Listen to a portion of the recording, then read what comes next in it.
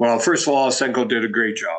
Uh, they had this PEA put together in, under six months, uh, which is, uh, again, recognition of their work, but uh, the contribution made by our team on the ground.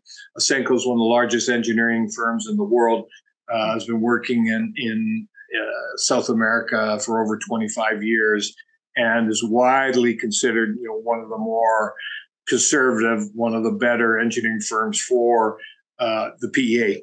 The PEA and its and its uh, regulatory compliance is is significant. Um, it's universally recognized as one of the more rigid, uh, one of the more reliable sort of uh, engineering reports one can have done, uh, and that's important